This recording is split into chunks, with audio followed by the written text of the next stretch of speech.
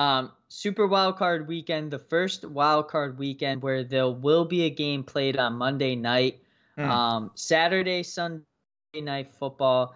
Let's start with Saturday. Let's get into it. Raiders at Bengals. On to Cincy, Austin. no rest for the got? wicked.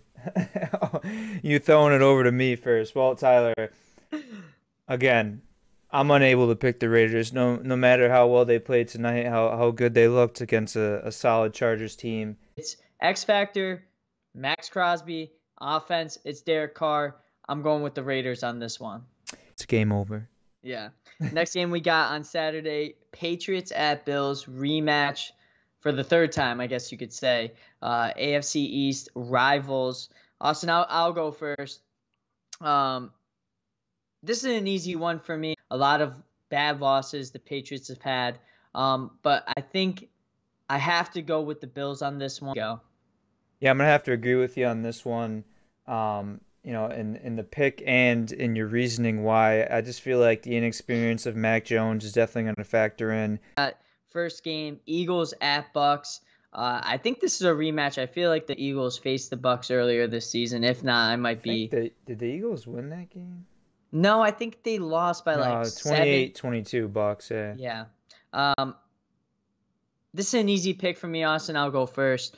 Um, I'm riding with the Bucs on this one. The two seed, they're they're hot right now. But at the end of the day, it's Tom Brady. I don't, you know, I'd be wasting breath if I tried talking around that and really said more things other than it's Tom Brady. Yeah. Uh, next game we got Niners at Cowboys, like you aforementioned. Uh, Austin, I need you to go first on this one, just just because I, I need to hear your reasonings on mm-hmm. everything. Mm. I'm unsure about this game. I I love the Niners, like you said. Mm. I also think the Cowboys are somewhat legit, but who do you got?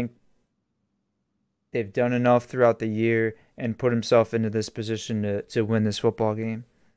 Yeah. Um. I I wanted to pick the Niners. I just I, I couldn't know, do it. I know you did, and you know what? I will for you. Oh wow. Um, so next game we got final game on Sunday night: Steelers at Chiefs. Austin. Although I do want to pick the Steelers on this one because you know it would be a real shame if the Steelers won and uh, you know the the Raiders won too. Mm-hmm. Obviously, going up, whoever wins those games is going up against King Henry and the Titans.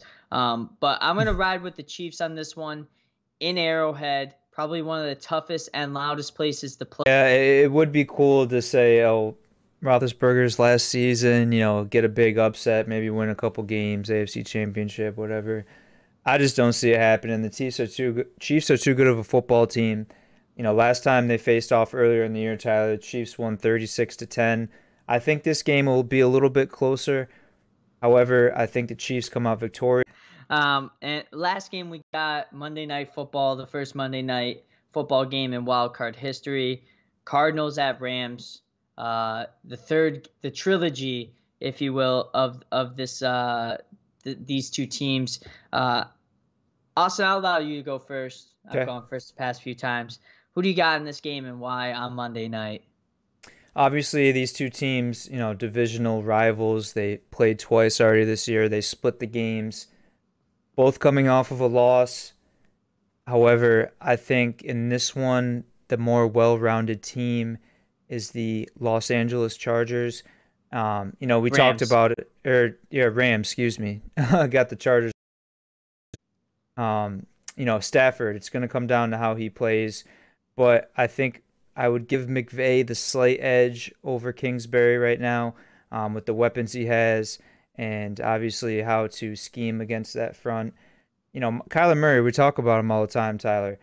You know, I don't know if it's, you know, the height type deal or, you know, it's just a sporadic play style.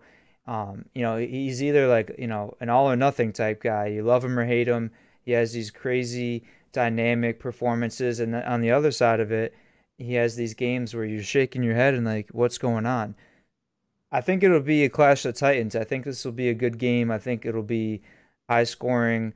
Um, it's going to come down to defense for me. I think these offenses are, you know, pretty equal. I think the Rams have a little bit better defense, and at the end of the day, for me, that's what it's going to come down to.